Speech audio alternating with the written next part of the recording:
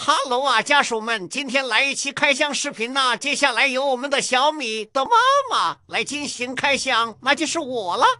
第一个是一个黄色的奶酪陶瓷窝，超级大，有请我们的模特小米进去试一下。这个陶瓷窝都可以装下两个大熊了。接下来是第二个，是一个小号的奶酪陶瓷窝，小号的适合侏儒和小一点的熊类用。这个夏天怎么能不安排一个陶瓷窝呢？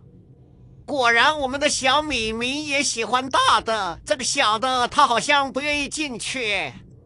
让我们看看第三个是什么？呃，第三个是一个浴室，这个浴室是一个斜面设计，方便叔叔进出方便一些。好，下面有请我们的模特小米进去试一下。哎，里面没有沙，哎，没有沙，我不愿意进去。哎，我要出来。第四个是一个啥呢？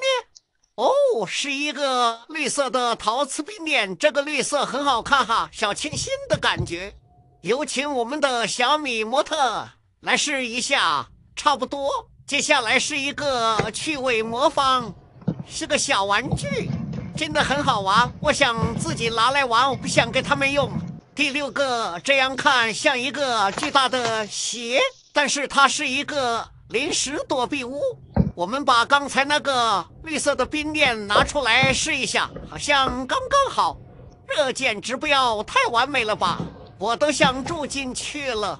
接下来的这一个也是躲避屋，但是它要比那个临时躲避屋大一些，大很多。上面还有两个可爱的小汤许，是一个限定的端午躲避屋。拆开的时候我也惊艳到了，它真的好大呀！这个就适合两只鼠鼠一起住，放在笼子里，为了节省空间，可以把这个陶瓷窝放在这个平台上面，好喜欢。主角儿总是最后一个登场嘞，里面有一个牛皮的防滑梯，好像这个质量确实没得说呀。这一堆东西造景简直绝了呀，都好好看的配色。后面给你们看看这些东西造景到底怎么样。下期再见啦，姨们。